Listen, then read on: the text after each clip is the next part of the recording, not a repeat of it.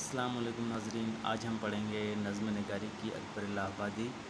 अकबर इलाहाबादी का, अकबर जो इलाहाबादी हैं, ये नज़म नगारी के शायर हैं और इनका, इनको लसानुलअसर भी कहा जाता है। और अगर हम बात करें उनके असल नाम की तो इनका असली नाम सैयद अकबर हुसैन रिजवी था और इनका तखल्लुस अकबर हुआ करता था। लिसानुल असर इनका लक़ब हुआ करता था। अकबर इलाहाबादी, इलाहाबाद में 1846 में पैदा हुए थे और उनका इंतकाल 1921 में इलाहाबाद ही में हुआ था, पचहत्तर साल की उम्र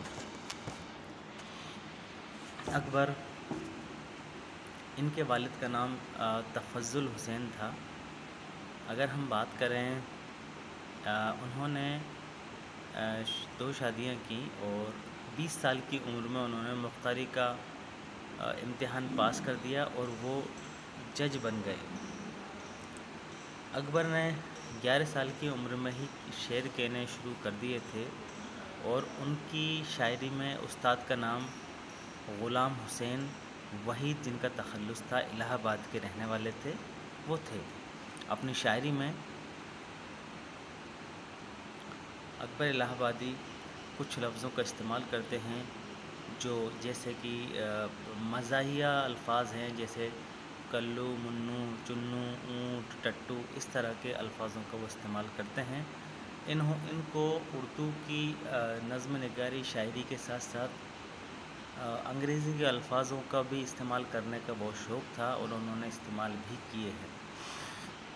अगर हम देखते हैं क्योंकि अकबर एक मज़ाहिया शायर थे और जिन्होंने जितने भी नज़में लिखी हैं, चाहे वो अपने बेटों को लिखी हैं या उन्होंने उस वक्त के लोगों को अपना पैगाम दिया है, उसकी जानब से लिखी हैं।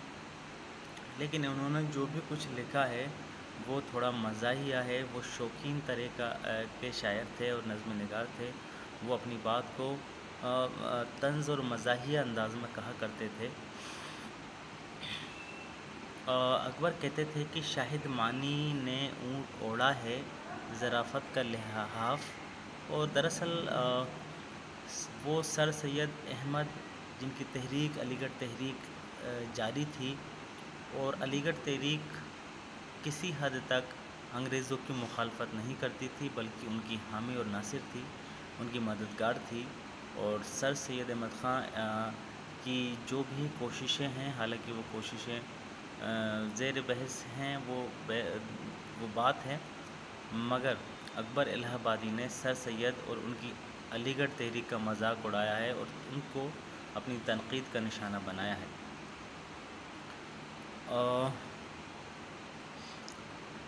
अभी चूँकि मैंने आपको बताया था कि ये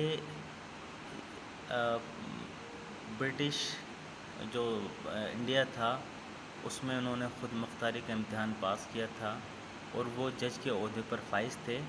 इनकी खदमात की बिना पर उनको ख़ान बहादुर का जो ख़िताब था वो मिला था अठारह सौ अट्ठानवे में। अकबर इलाहाबादी जो थे, हालाँकि इनके कुछ सर सैद अहमद से ताल्लुक़ात अच्छे नहीं थे उनकी शायरी चश्मक थी और उन पर कुछ तनकीद नकारी और उन पर निगाह वो सीधी नहीं थी लेकिन उसके बाद भी जब सर सैद अहमद ख़ान का इंतकाल हुआ अठारह सौ अट्ठानवे में तो उनकी मौत पर अकबर इलाहाबादी ने यह कहा था कि आ, मैं तो सिर्फ़ बातें करता हूँ और सैयद तो काम करता है और वो काम करके गया है। इनकी अगर बात की जाए तो जिनसे गहरी दोस्ताने थे, गहरे ताल्लुक़ थे, आपसी जिनसे उनकी बहुत अच्छी बनती थी, उनमें था, उनमें थे एक तो दिल्ली से ख्वाजा हसन निज़ामी और एक महाराजा महाराज कृष्ण बहादुर। इनसे अकबर के बहुत अच्छे ताल्लुक़ थे, बहुत अच्छे उनके, उनसे आपसी रिलेशन थे। अगर इन्होंने गांधी नामा लिखा है, ये गांधी नामा इसमें इन्होंने गांधी जी के ऊपर कुछ अशार कहे हैं, उनकी तारीफ़ में कुछ बातें कही हैं, कुछ नज़म नगारी कही है, अकबर की कुल्लियात है, वो उस पूरी कुल्लियात में जो भी उन्होंने कुछ कहा है, लिखा है, उसको उन्होंने एक कुल्लियात में यकजा किया है और उसके चार उन्होंने पार्टीशन किए हैं, चार हिस्से किए हैं, उसमें उनकी बात कही है। अकबर के मुतालिक जो दूसरे ख़यालात थे, जिसमें लोगों ने उन ख़यालात अर्ज़ी की है और ख़यालात आरियाँ की हैं, उसके बारे में हम बात करते हैं। तो अकबर की नज़म जलबार दरबार दहली।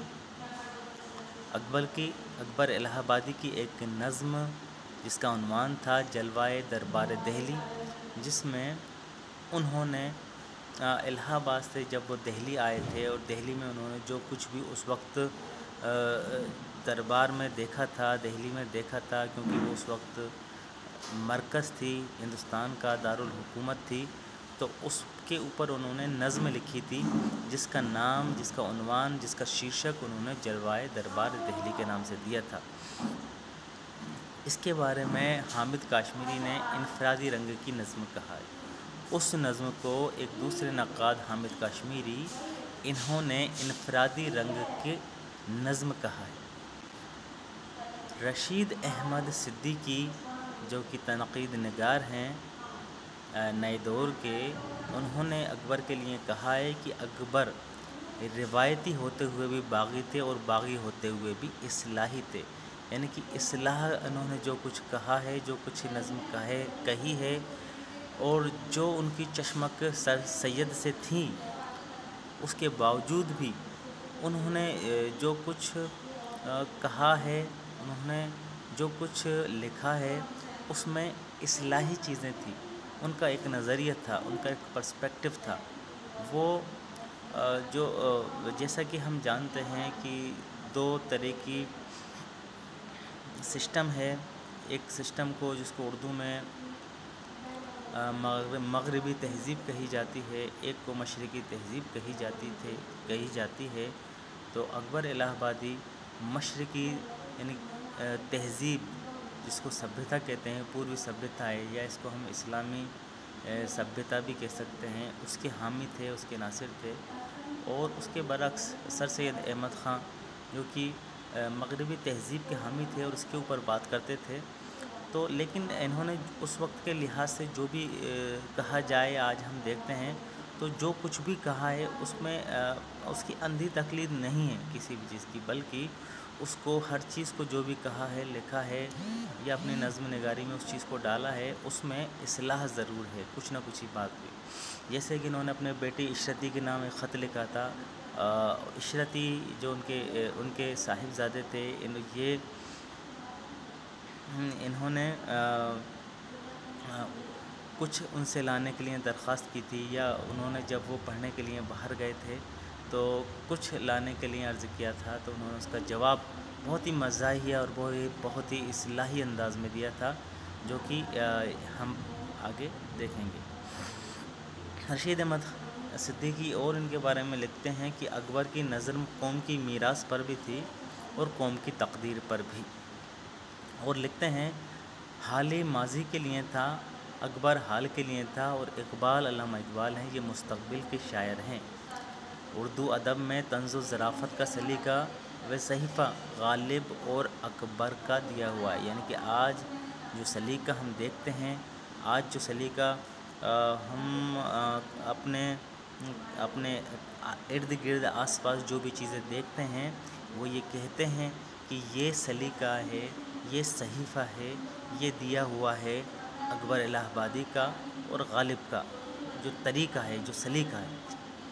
इसी तरह से मेहंदी अफादी उनके बारे में कहते हैं, जो फ़िक्रे अकबर ने, जो फ़िक्रे अकबर की ज़बान से निकलते हैं इंशा परदाजी के जौहर पर पूरे उतरते हैं।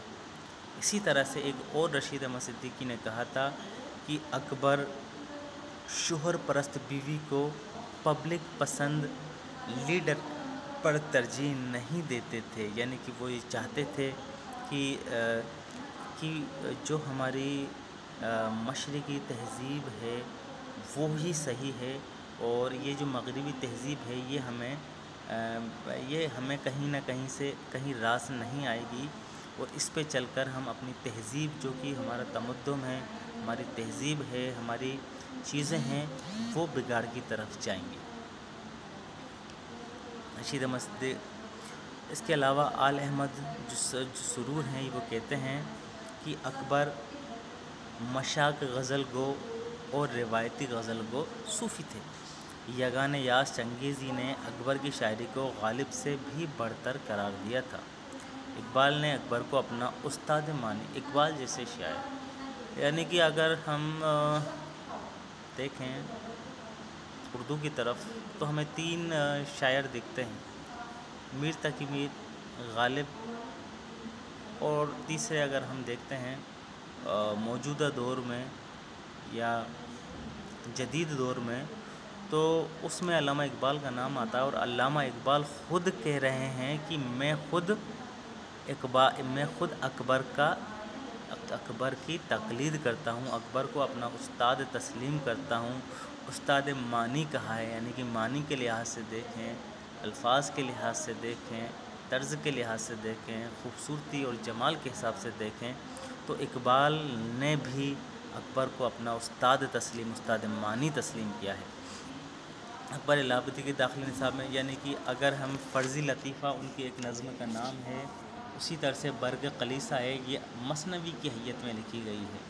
जलवाए दरबार दहली जिसके बारे में अभी उन्होंने बात की थी उसको भी उन्होंने बहुत ही बहुत ही अच्छे अल्फाजों में हमसे बयान किया है।